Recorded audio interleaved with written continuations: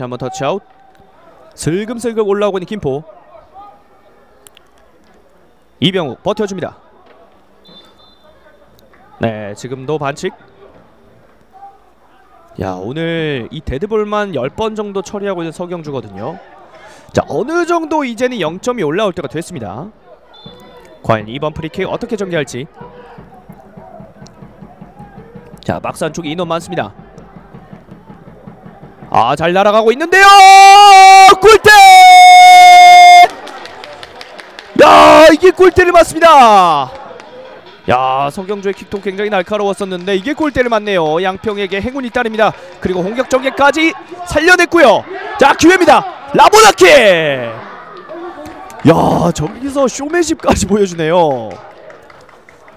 자 정말 대단한 경기가 펼쳐지고 있습니다.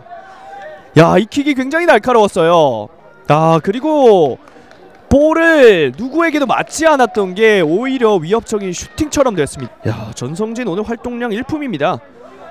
자 그리고 이 백승현 라보나킥 여유까지. 야 영상 이런 건 평생 남거든요